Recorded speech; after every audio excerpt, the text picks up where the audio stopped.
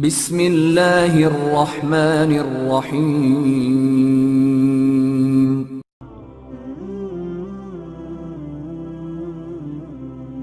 अस्सलाम वालेकुम दोस्तों, उम्मीद करता हूँ आप सब लोग खैरियत से होंगे।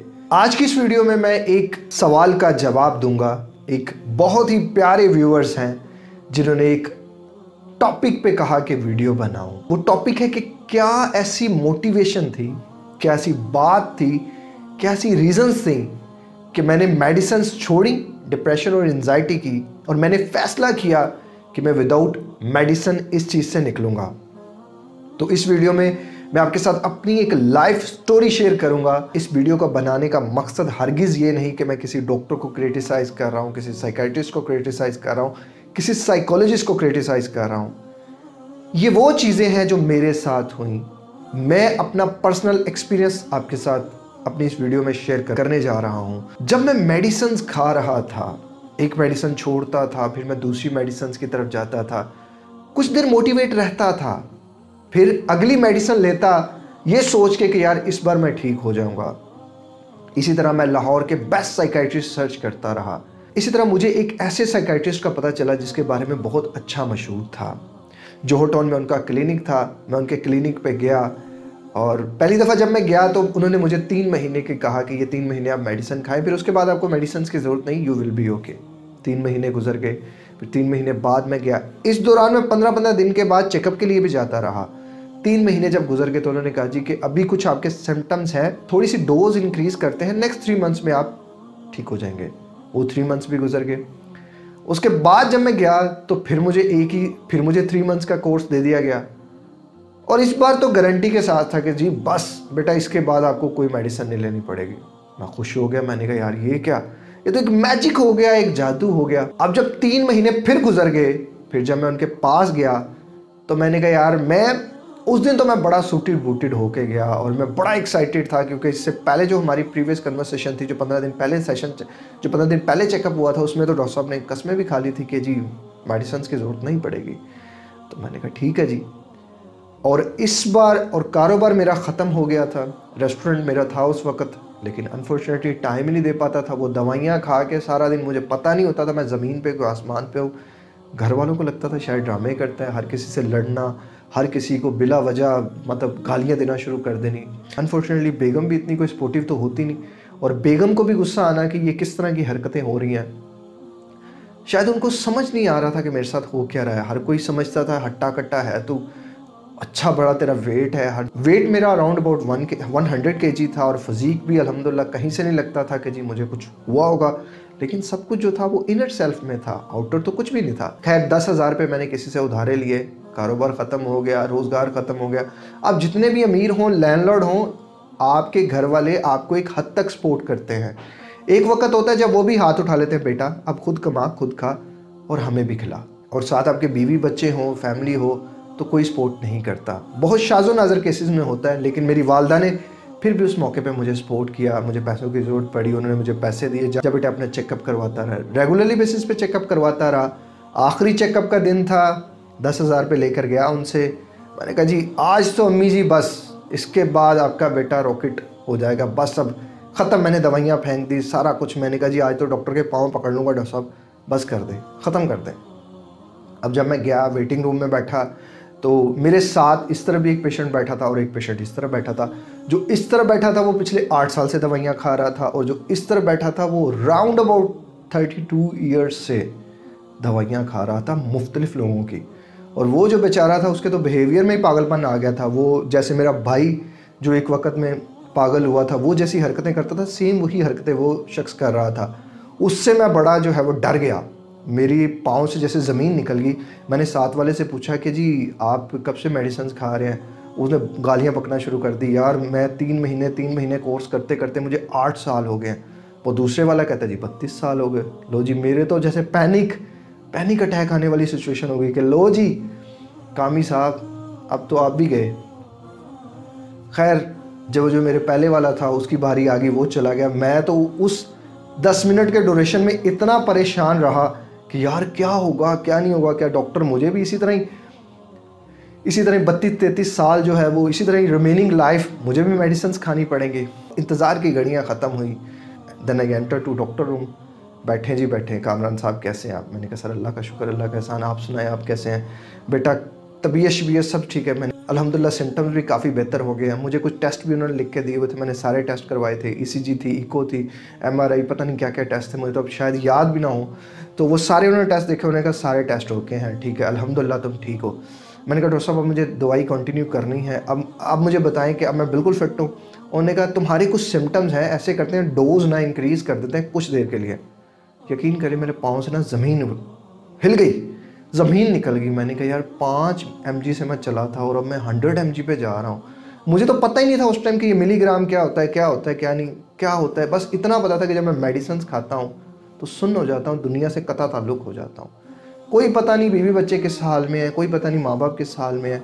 बहन भाइयों से लड़ना है, किसी का फ़ोन आ जाना है, क्यों उधर फ़ोन कर रहे हो, ये है, वो है। घर वालों को लगता था कि यार, ये ड्रामे कर रहा है। बट चूँकि मेरे घर में एक पेशेंट था, जो बेचारा पहले ही ऑलरेडी पागल था मेरा बड़ा भाई तो उसकी वजह से मेरे साथ लोग सपोर्ट भी करते थे ताउन भी करते थे, लेकिन वो भी एक हद तक लिमिटेड हो जाते थे, वो एक जगह पे आके सपोर्टिव ज़्यादा लोग नहीं होते थे।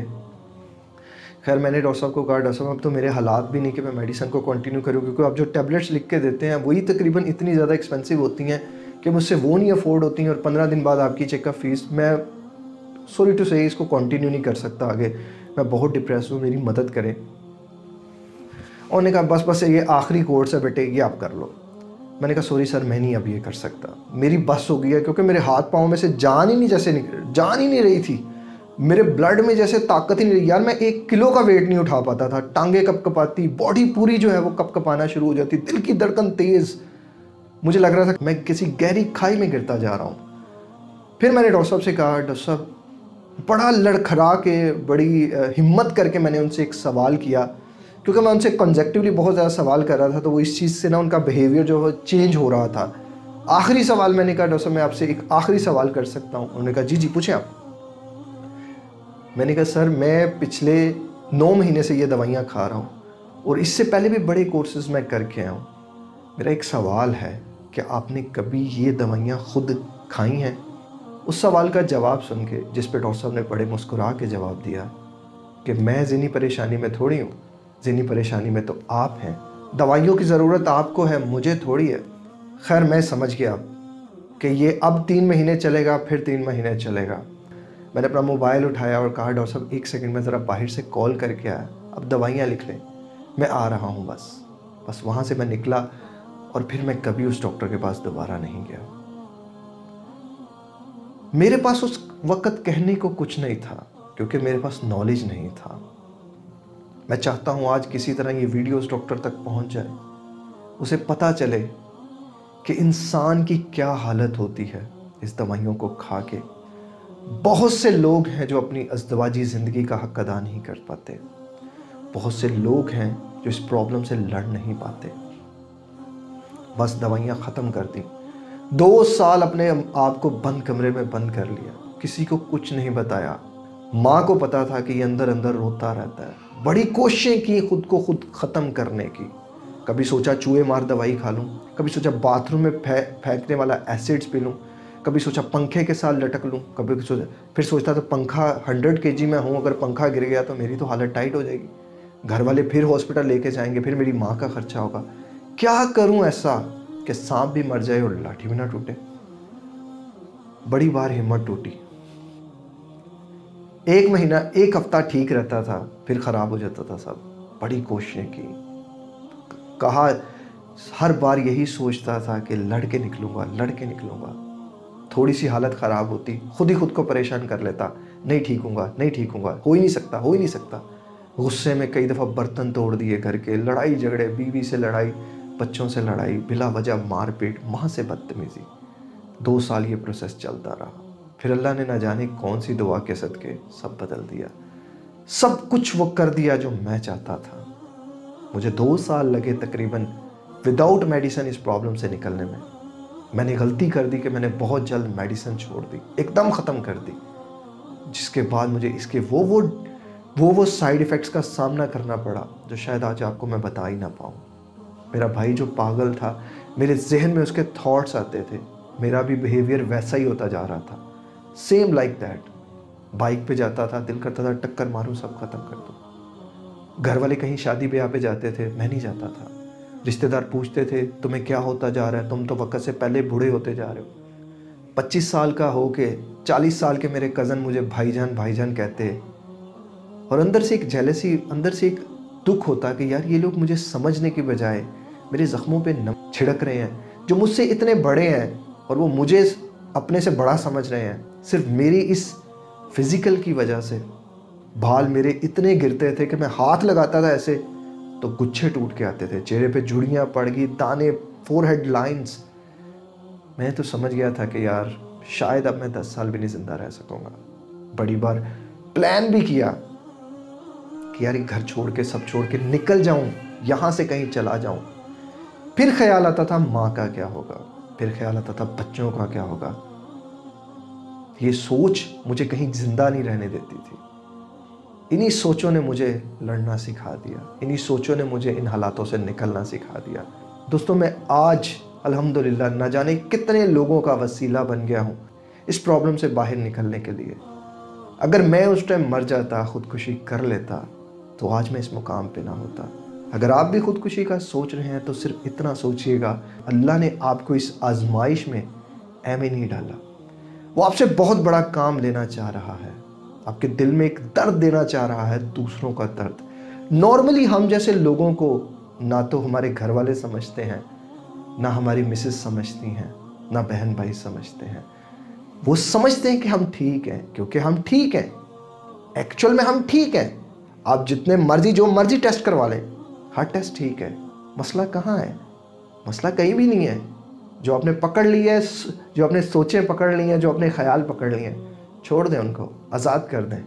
ये वो परिंदा है जो खाम खा आपने पकड़ लिया है और उस पर ज़बरदस्ती आप कर रहे हैं कि वो आपके साथ रहे, वो आज़ाद होना चाहता है, आज़ाद कर दें उसे। जो होगा, देखा जाएगा। I don't care about future जो है, अभी है I am okay with this ignore कर दें सब चीज़ों को, छोड़ दें सब चीज़ों को। मेरी वीडियोज़ उठा के देख लें, मैं हर वीडियो में एक ही चीज़ कहता हूँ, अल्लाह के साथ जुड़ जाओ, उसके रसूल के साथ जुड़ जाओ। जो लोग मुझसे कोचिंग लेते हैं, उनको भी मेरे यही अल्फाज होते हैं। बस वो मुझसे, बस वो मुझसे बात ही करते हैं तो उनकी आधी बीमारी तो वैसे ही ख़त्म हो जाती है। ये सब अल्लाह का अता किया गया है। मैं कोई डॉक्टर, कोई साइकेट्रिस्ट, कोई साइकोलॉजिस्ट नहीं। वो दवाइयों पे भरोसा करते हैं, मैं उस पर भरोसा करता हूँ। उनका भरोसा टूट सकता है, मेरा भरोसा नहीं टूट सकता। तो वीडियो का अहतमाम यही करते हैं। अपना बहुत ज़्यादा ख्याल रखिएगा और जिन लोगों की रिक्वेस्टेड वीडियो अभी तक नहीं बनी प्लीज़ वेट करें। आ, मेरा जो सिस्टम है वो ख़राब हुआ पड़ा है। मेरे पास अभी सिस्टम नहीं है तो जैसे वो इंशाल्लाह मेरा जैसे मेरा सिस्टम का अरेंज होता है तो बहुत ज़्यादा रिक्वेस्टेड वीडियो तो वहाँ बन चुकी हैं। कुछ न्यू बनने वाली हैं वो भी इंशाल्लाह टाइम टू टाइम आप तक पहुँचती रहेंगी। तो दोस्तों अपना बहुत ज़्यादा ख्याल रखिएगा मुझे दुआओं में याद रखिएगा। अगेन इस वीडियो को बनाने का मकसद किसी डॉक्टर की दिल आज़ारी करना, किसी साइकाइट्रिस्ट की दिल आज़ारी करना, किसी साइकोलॉजिस्ट की दिल आज़ारी करना नहीं था। मैं जानता हूँ ये लोग बहुत अच्छे होते हैं, दिल के अच्छे होते हैं। बस वो भी बार बार एक बात को सुन के थोड़ा सा हाइपर हाइपर हो जाते हैं। ओबियसली इंसान है। एक्चुअल में हर बंदा मेरी तरह तो नहीं है ना, जो बेचारा इस प्रॉब्लम से गुजरा है। आपको पता है और वो आपकी बातों को बर्दाश्त कर लेगा, आपकी गालियों को भी सुन लेगा। वो भी इंसान है। अगर कोई इस तरह की बात कह भी दें तो इग्नोर किया करें। बाकी अल्लाह ताला कभी किसी को इस मुकाम पे ना लाए कि उसी किसी डॉक्टर के पास जाना पड़े, किसी दवाइयों का इस्तेमाल करना पड़े। अल्लाह ताला अल्लाह ताला सबको शिफा में रखे, अल्लाह ताला सबको जहनी सकून में रखे इतमान में रखे, अपनी फैमिली के साथ खुश रखे, अपने बच्चों के साथ खुश रखे और उसे खुशियाँ बाँटने का एक ज़रिया बनाए। इसी दुआ के साथ अपना बहुत ज़्यादा ख्याल रखिएगा। अस्सलाम वालेकुम अल्लाह हाफिज़।